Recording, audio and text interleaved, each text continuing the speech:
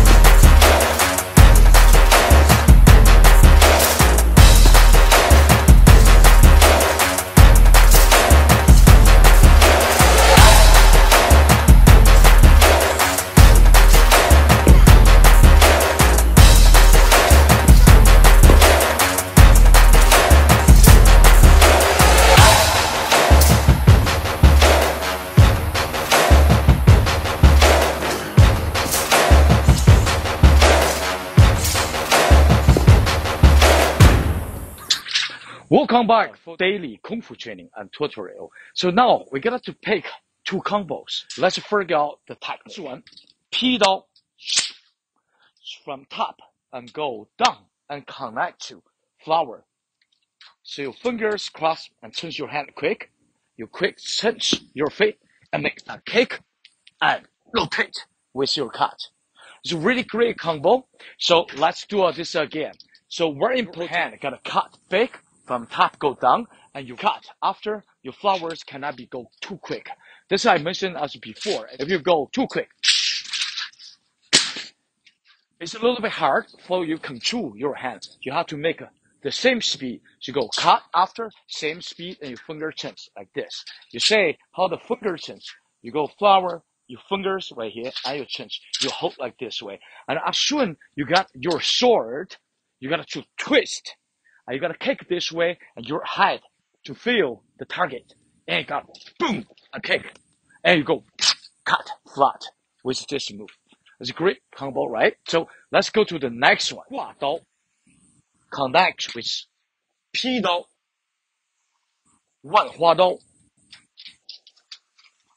which is 弓步. So this combo have a three technique. The first one, 挂刀.挂刀 is protection movement protect your leg. So your leg going to lift like this way and follow the same line. And follow the same line, you both hand cross and you cross your leg and you turn straight line this way and you make one dao go back behind you and flower front and pull back with your both stance. Combo with your flower, with the daily training. You can do get much more speed. You use your waist. You can assuming once you starting movement, it's like cutting. You're cutting this side. So once you cutting and then you go down, relax your wrist. This is much quicker, right? So like say this, go. That's how quick you can go. Uh, plus you twist your wrist, even quicker.